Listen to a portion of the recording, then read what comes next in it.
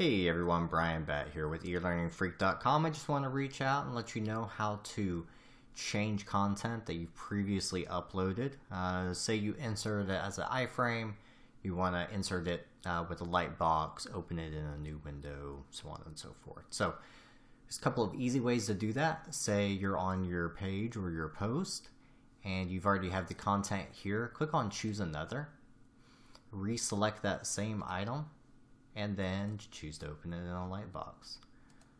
Hit insert, and you're good to go.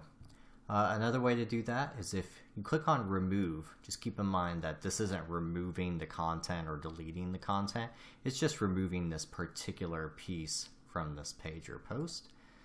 Now we have it fresh. We can either upload new items or we can go into the content library. So we click on content library, it shows that screen that we just showed. You can reinsert it that way. So there's a couple of different ways to insert it. If you're using the classic editor, let me show you how to do that.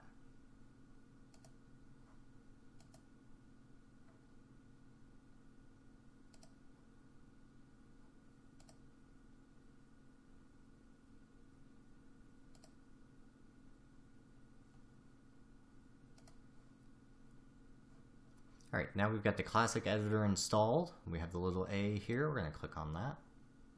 And at the very top, you'll see two tabs, Upload File and Content Library. Click on Content Library. And then reinsert the content. Now you'll notice that with the classic editor, this drops a shortcode into your page. Um, so if you wanted to change that, you would actually need to delete it and then reinsert it. Go back into the content library, link that opens in a new window. There you go. Uh, so that's it. Let me know if you have any questions.